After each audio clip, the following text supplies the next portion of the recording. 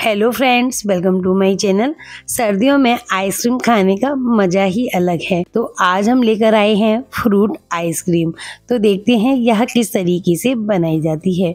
मैंने यहाँ पे कुछ फ्रूट्स लिए हैं, जिसमें मैंने केला, दोनों तरह के अंगूर, संतरे स्ट्रॉबेरी पुदीने की पत्तियाँ, कीवी और एप्पल लिए हैं। और यहाँ पे मैंने पोमीग्रेनेट लिया है, जिसको मैंने छील लिया है और विप्ड क्रीम ली है, जो केक में यूज़ होती है। इसमें मैंने रेड और ग्रीन कलर मिला दिया है। अब मैंने यहाँ पे एक कंटेनर लिया है, इसके ऊपर हम ये क्लीन रैप लगा देंगे, क्योंकि मैं इसे डिमोल्ड करूँगी। अगर आप इसी में सर्व करना चाहते हैं तो ये यहाँ क्लीन रैप आप यूज़ ना करें। और इसमें हम इस तरीके से फ्रूट्स को अरेंज करेंगे, जिससे यह जब डीमोल्ड होगा तो देखने में काफ़ी सुंदर लगेगा। मैंने यहाँ पे ये फ्रूट्स लिए हैं, आपके पास जो फ्रूट्स अवेलेबल हैं, आप बाहर ले सकते हैं। अपनी पसंद से कोई भी फ्रूट्स आप स्कीप कर सकते हैं या कोई भी फ्रूट्स ले सकते हैं। और इस तरीके से चारों तरफ़ कंटेनर के मैं इस तरीके से फ्रूट्स को अरेंज कर दूँगी। जब यह डीमोल्ड होगा तो देखना बहुत टेस्टी और बहुत सुंदर लगेगा। और मैंने सारे फ्रूट्स को इस तरीके से अरेंज कर दिया है। अच्छे से मैंने इसको फिल कर दिया है। अब हम इस पर केक क्रीम लगाएँगे। मैंने इसमें अभी कोई कलर नहीं मिलाया है। मैं सिर्फ़ वाइट केक क्रीम जिसको मैंने बिब्ड कर लिया है, हम इस तरीके से अरेंज करेंगे। मैंने सिर्फ़ गार्निशिंग के लिए इस क्रीम में कलर मिलाया है। अगर आप कलर अवॉइड करना चाहते हैं तो आप इसे सिंपल वाइट कलर में भी बना सकते हैं।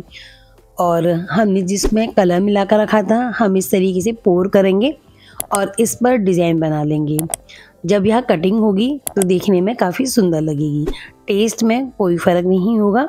अब फिर से मैं इस पर ये वाइट केक क्रीम लगा दूँगी और इसे ऊपर तक हम अच्छे से फिल करेंगे। और इसके ऊपर मैं ये थोड़ी सी शुगर बॉक्स डाल दूँगी जिससे यह देखने में सुंदर लगेगी। आप इसे चाहें तो स्किप कर सकते हैं या आप और भी किसी चीज़ से इसे गार्निशिंग कर सकते हैं। एक से दो बार टैप करेंगे, जिससे जो क्रीम है नीचे तक अच्छे से सेट हो जाएगी। फिर से इसे क्लीन रैप से रैप कर दूँगी, जिससे जो आइस क्रिस्टल हैं, वह इसके ऊपर नहीं जमेंगे और छः से सात घंटे के लिए या ओवरनाइट हम इसे सेट करने के लिए रख देंगे।